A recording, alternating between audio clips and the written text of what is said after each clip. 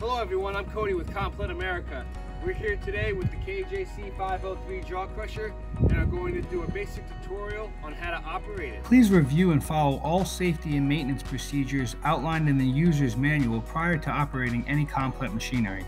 Always be sure to wear the proper safety gear, including protective clothing, high visibility clothing, safety footwear, helmet, gloves, goggles, and hearing protection. Never operate your machine with any side doors open or protective covers disassembled. Prior to processing any material, be careful and check the type of material you are crushing and make sure it is a non-hazardous waste substance. In addition, make sure the jaw crusher you are using has enough power to process the material's hardness. The KJC 503 makes short work of hard, brittle materials. This includes concrete, demolition waste, softer stone, brick, and asphalt. From its 19 inch by 10 inch single toggle jaw crusher, this small crusher accepts materials between 8 inches and 10 inches in size, with an output size adjustable down to 3 quarters of an inch. For soft and medium rock, we recommend setting the jaw all the way open the first time you crush the material, and then the second time around, set it to your desired output size. If you are crushing reinforced concrete, make sure there are not any long pieces of rebar sticking out of the concrete to avoid a piece getting caught at the bottom of the jaw and ripping the extraction belt. Before we go over how to start the KJC 503 and sync the remote controller, please take a moment to familiarize yourself with its screen display icons. High coolant temperature, crusher on, alternator not charging, low pressure engine oil, preheater, clogged air filter, low fuel level, and display engine speed indicator. The wireless remote controller is used to control the crawler tracks, loading conveyor belt, crusher, extraction conveyor belt, and start the dust suppression system. The emergency stop button on the wireless remote controller stops all machine functions except the diesel engine, which remains on. To start the KJC 503, first make sure the power switch is on and in a vertical position. Then pull and twist the emergency stop button to make sure it is not pushed in. Next, turn the ignition key to the right so the display screen turns on. Once the screen is on and the display icons disappear, you can turn the key all the way to the right to start the engine. If this is your first time starting the machine for the day and the engine is cold, then turn the key slightly to activate the preheater before you fully turn it to start the engine. And be sure to let it run in idle for a few minutes to warm up. To sync the remote controller, twist and pull the emergency stop button and make sure all the switches are in the down or neutral position. Next, turn the power switch on the left side so the green light on top starts to flash fast. At this time, press the green button on the left side once for a brief second until you see the green light on top start to flash slower.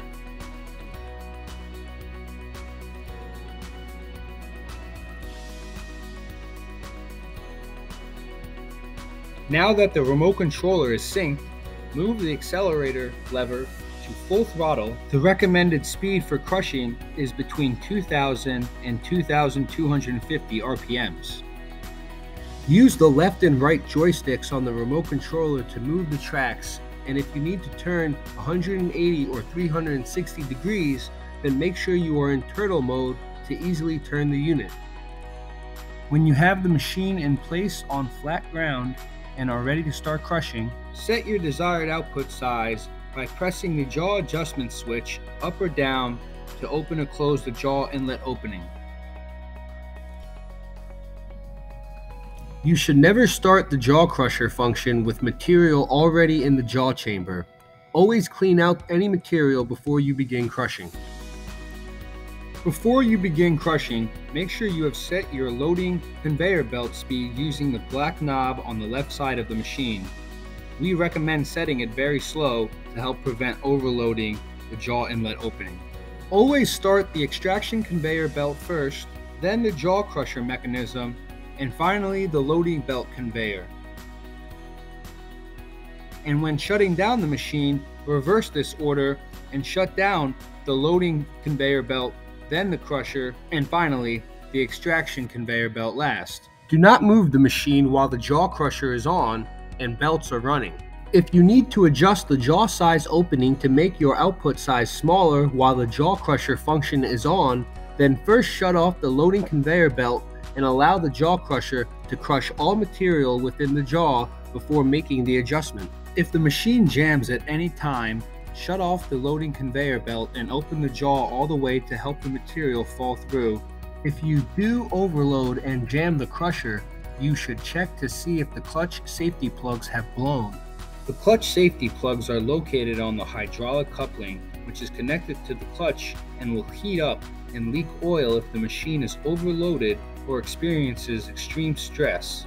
This is a safety mechanism to prevent catastrophic damage to the clutch. We recommend using a mini excavator to load the KJC 503, but you may also use a skid steer or backhoe as well. Load as clean of a material as possible with minimal dirt to avoid it building up in the hopper and jaw chamber and reducing your production output. Never drop material directly into the jaw chamber, and always load material into the hopper. Also, be sure to not drop material from a very high distance to avoid ripping your loading belt rubber sills that run along each side of the belt and prevent material from getting underneath and causing damage. In addition, we recommend you only fill the hopper halfway or three quarters of the way depending on the type of material you are crushing to avoid overloading the belt and causing it to slip. Also, be sure to periodically check and adjust your belts so they have proper tension and are center aligned to prevent them from slipping and suffering unnecessary wear. After using the machine, always be sure to clean and check the belt rollers, hopper, and jaw chamber and remove any built up material that can cause wear over time. Always be sure to grease all grease points every 8 hours as well as check the air filter periodically to ensure optimal operating conditions. This concludes the basic tutorial on how to operate the Komplet KJC 503 jaw crusher. If you have any questions, please reach out to our team at www.kompletamerica.com or call us at 908 369 3340.